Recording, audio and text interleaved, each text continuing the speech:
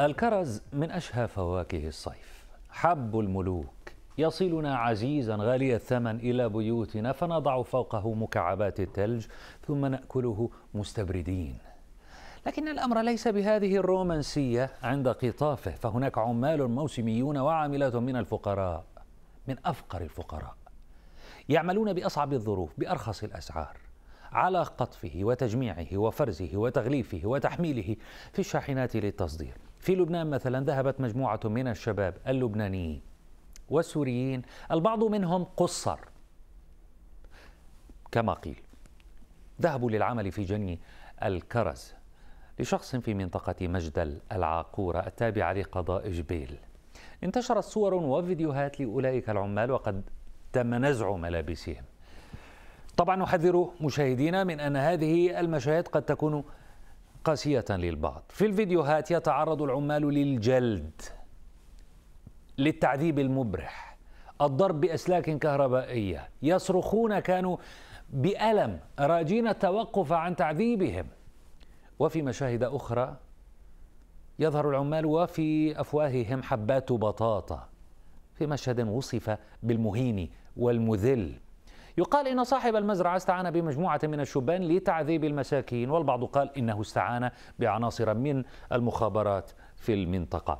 لكن ما السبب ليقوم بهذه الفعلة الشنيعة؟ يقال أنه اتهم العمال بسرقة ساعة يد ونظارة شمسية لكن العمال نفوا ذلك وقالوا إن السبب هو مطالبتهم بأجورهم بعد أربعة أيام من العمل لكن صاحب العمل تهرب من الدفع واختلق تلك التهمة لهم وقام بتعذيبهم. بعد تداول تلك الفيديوهات على السوشيال ميديا آه أصدرت قوى الأمن الداخلي بيانا جاء فيه. أحد الأشخاص ادعى بأن عددا من العاملين لديه سرقوا مبلغا وقدره 100 مليون ليرة لبنانية وبعد تداول فيديوهات الاعتداء على أولئك العمال فتح تحقيق بالحادث من قبل المخفر المعني.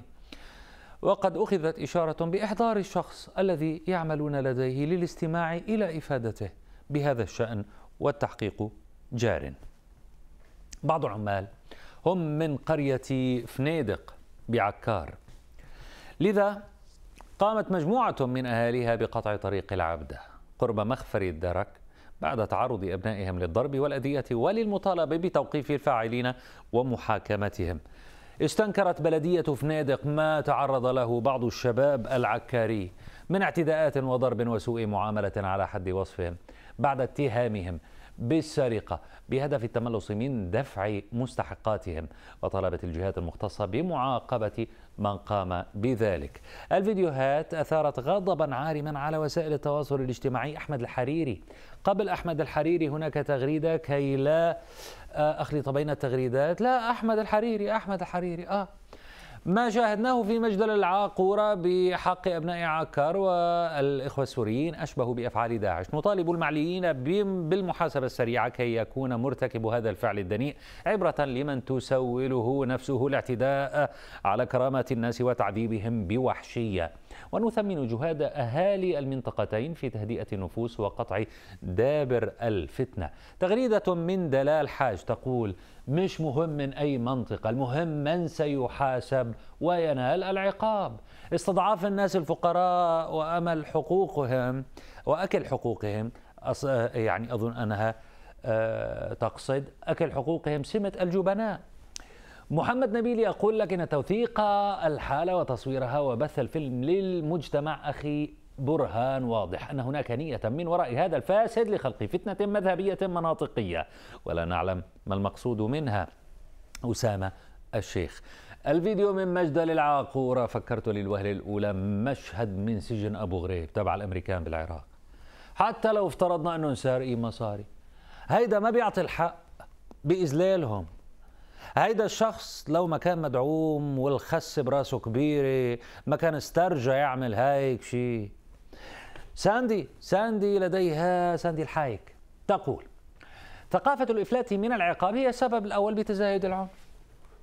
غياب المحاسبة بيخلي مين ما كان يعتدي على مين ما كان. نعم لمحاسبة من انتهك حرمة العمال المزارعين في العاؤرة مفتي عكار. مفتي عكار الشيخ زيد محمد بكار زكريا. صرح للإعلام المحلي هذا ما صرح به.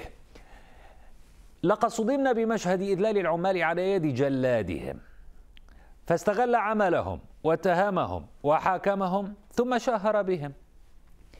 عبر نشر فيديوهات مسيئة ومرفوضة أعادت إلى الأذهان المشاهد البوليسية التي كنا نراها على يد الأنظمة القمعية. أطالب الأجهزة الأمنية والقضائية بتوقيف الجنات والمتورطين ورفع الغطاء عنهم.